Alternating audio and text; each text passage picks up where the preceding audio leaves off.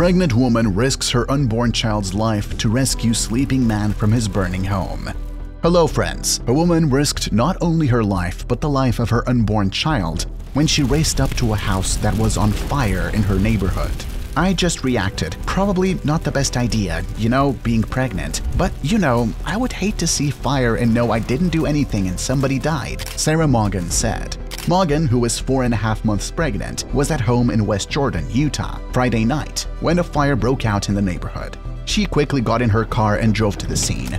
When she arrived, neighbors watched as flames engulfed the home. But rather than stand back, she rushed up to the front door and began knocking. I just felt the heat. Yeah, it was intense, Morgan said. Banged on the door. He came to the door. I said, Your house is on fire. He saw the flames in the garage and his mouth just dropped. He was dead asleep. Surprised, the fire is already in the doorway as we're running away. According to KTVX, the fire lasted for several hours and burned other structures.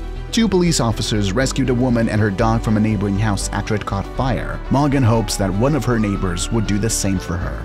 I just believe in karma, so I hope if my house was on fire, somebody would come to wake me up or help me get out. Thankfully, no one was seriously injured, and the man whom Morgan rescued was extremely grateful for the heroic actions. Bless Sarah for risking her life and her unborn child. It takes a certain kind of person to do what she did.